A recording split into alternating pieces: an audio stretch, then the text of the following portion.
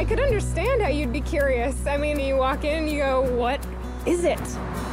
What is this place? Walking to a Church of Scientology is very much a new kind of experience. It's not like a, a, church that I was used to walking into. You know, it's very modern looking, you know, very, very clean. You know, it was a very friendly atmosphere. People come in every day, all the time. Just walking in. Hey, what is this? What is this place?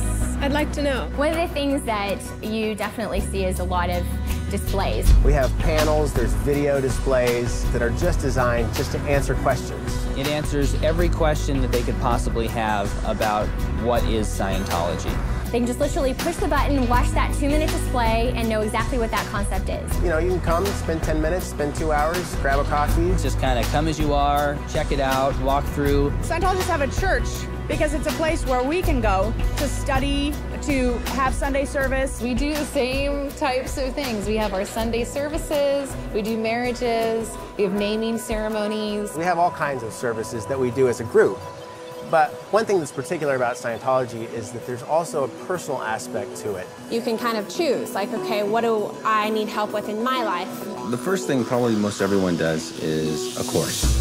That's actually the theology of Scientology. That's where you're learning about the actual philosophy itself. And it is a religious philosophy, but it's also an applied religious philosophy, so you go apply it. Kind of like a spiritual college. They have tons of courses on yeah, everything. Pretty much any subject yeah. you can really think of. There are courses on how to communicate better, how to get along with others, how to handle negative people, how to raise children. It's not just a philosophy where you sit and think about it. It's taking the spiritual nature of man and it's combining it with something that's really practical. It has a way of being very, very simple and easy to come across to the reader and easy to apply, but also extremely powerful. You come in, you pick a chair you like, you sit down, you study there. It's really quite simple. You feel good when you're studying there. You don't need to be a Scientologist, and you can be any religion really to come check it out. The whole point is you're yourself. In a Church of Scientology, you're the one doing the learning. Nobody's preaching to you or teaching it to you. You're learning it yourself. Well, here at the church, we deliver courses. We deliver personal counseling called auditing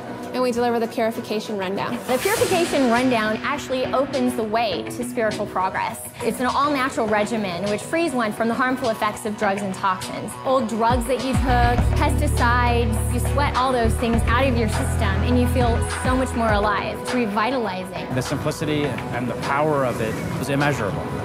There's also something called auditing, which is Scientology counseling. And that is extremely unique. That is where you actually get rid of the unwanted emotions and unwanted habits, psychosomatic illnesses. There's no hypnosis involved in it, there's no analyzation. No one tells you what's wrong with you. It finds the root, it finds the cause of what's going on, and it handles that spiritually for you.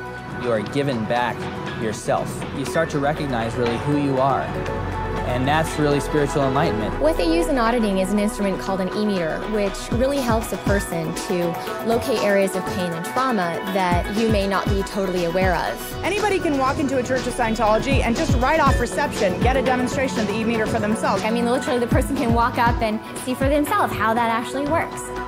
The tools in Scientology are used for you to help you with the areas of your life that you're having trouble with. It's a personal experience for an individual. And It's not lumping everyone into the same ball of wax because we all know it, we're all different. Any person that walks into my course room is a totally new person with their own story, with their own life. And as you take that journey, you become more and more you.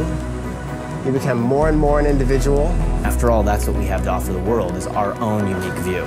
There's churches in Paris, in London, in New York, Moscow, Germany, all over Europe, in Madrid, in Africa. The best way to find out about something is really to look for yourself. It's as simple as opening the door. You're always welcome.